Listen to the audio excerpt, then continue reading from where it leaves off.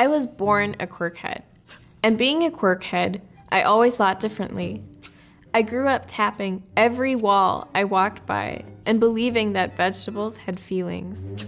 I made up thought rituals that I would perform every day to alleviate my fears of losing those I loved. I counted the number of times I swallowed, and I put my hangers in my closet a certain way because I was terrified that one item out of place would trigger the next apocalypse. I didn't know that so many others lived the same way until one of my teachers noticed several of my rituals. I was both amazed that she noticed and completely mortified that someone had seen my most vulnerable self that I had been trying to hide for so long. After hearing about some of my other quirks, she told me about obsessive compulsive disorder.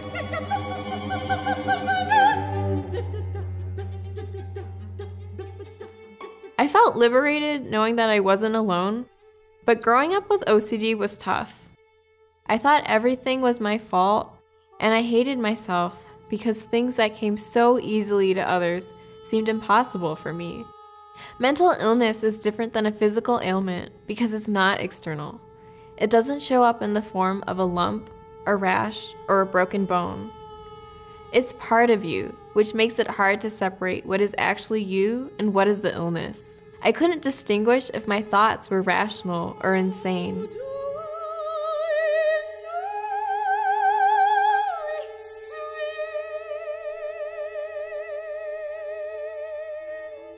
Before college, I went to counseling and eventually most of the tics subsided.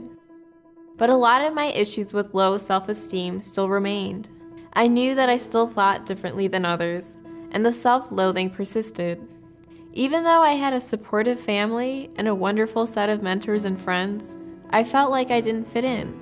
This constant self criticism spiraled me down into depression for much of my time in college. I was very hesitant to share my feelings with others. I was ashamed that I was still struggling with a lot of demons from the past. I convinced myself that I was okay because my mental state would keep fluctuating up and down, even though my negative phases would always follow my positive ones. Everyone around me looked so happy and seemed to have their lives together, so I thought I was the only one who was struggling. I didn't realize until later how many others were struggling with the same issues as me. I'm so lucky to have had such kind mentors who always cared about my well being. One of my professors noticed that I was having a harder time writing than I normally did and asked me if everything was all right. I broke down in tears and told him about all of my insecurities with mental illness. He patiently handed me tissues and then told me about his own previous experiences with depression. He encouraged me to get help and told me about CAPS I had mixed experiences with counseling in the past, so I was afraid to try again. But my professor motivated me to try again and seek help. Going to CAPS really helped me find ways to be more compassionate towards myself and to stop the cycles of negative thoughts. We would never criticize our friends or loved ones like that, so why should we treat ourselves that way? They also provided some guided meditation and mindfulness strategies that helped me learn how to unapologetically take the time to care for myself and to be present in each moment without judgment. My professors also encouraged me to find ways to tell my story and self heal through music. I eventually wrote a piece called Quirkhead that chronicled my personal struggles with OCD. I was initially terrified to open up about my experiences with mental illness but my mentors embraced my story and told me that my story was an important one to be shared.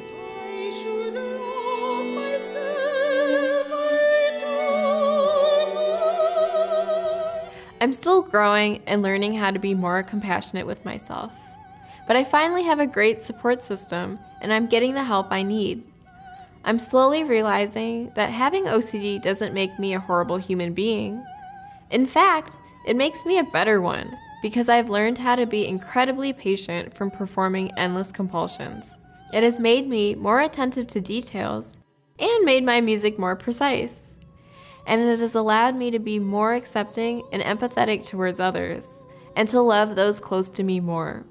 My brain will always be wired differently, but maybe that's okay and I'm finally proud to be myself. I'm proud to be a quirkhead.